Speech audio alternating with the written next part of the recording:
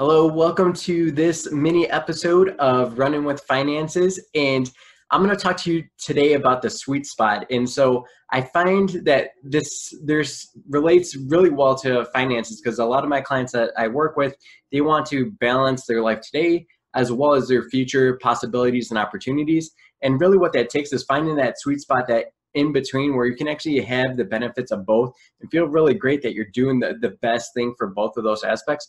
And how that relates to running is there's there's a couple different ways. I'll tell you a quick story. One that i actually love about my little brother and it, it's whenever i'm running and i'm starting to feel uh, gassed i always think about this story but uh, we were on the track team together and i think it was like a three mile run and he basically sprinted the first two laps and he he lapped everyone. He lapped me like twice, I think, because he was sprinting and I was I was prepared to to go that full distance and just kind of take it easy.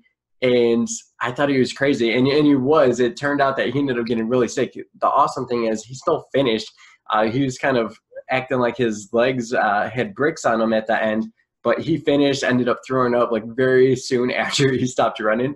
But there, there's that's the option, right? You can try to go gung ho and, and just focus uh, too much on the, the wrong stuff and and really put too much of a burden on yourself.